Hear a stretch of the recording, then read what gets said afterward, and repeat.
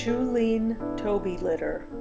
Juline is a yellow Labrador and she has six black puppies. They are two weeks old.